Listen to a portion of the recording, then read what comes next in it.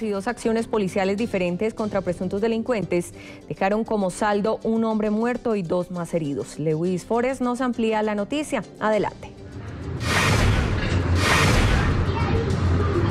Gracias, muy buenas tardes para usted y todos nuestros televidentes. Pues mire, fueron dos acciones en las que la policía respondió a llamados de auxilio de la comunidad.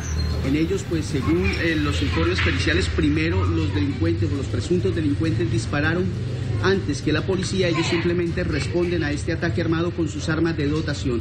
Sin embargo, y pese a la claridad de estos hechos, ya la Fiscalía General de la Nación tiene las armas y está investigando qué sucedió en realidad.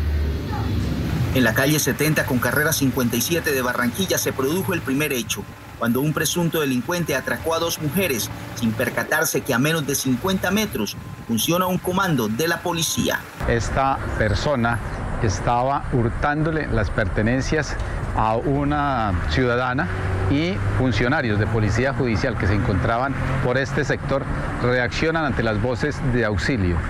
Van a la huida estos delincuentes y en la huida se presenta un cruce de disparos donde reaccionan los policías y es abatido. En este momento queda herido. El otro caso ocurrió en el barrio Los Continentes, donde un hombre atracaba a dos personas. Un policía atendió el llamado de auxilio, pero fue recibido a disparos. Esta ciudadana, entre sus voces de auxilio y alerta a este policial, quien inmediatamente da las voces de alerta y las voces de alto a estos delincuentes y hacen caso omiso. Al igual, esgrimen una arma contra el policial y él arremete con su arma de dotación, causándole herida a uno de ellos. La comunidad aseguró que la forma en la que actuaron los policías es la correcta. En estos casos, pues la policía tiene todo el derecho a responder ya que están haciendo un acto de defensa. Como tal, no, o sea, no están atacando ellos, están defendiéndose de un ataque. Pese a la claridad de los hechos, la Fiscalía inició una investigación formal para determinar qué fue lo que sucedió en estos casos.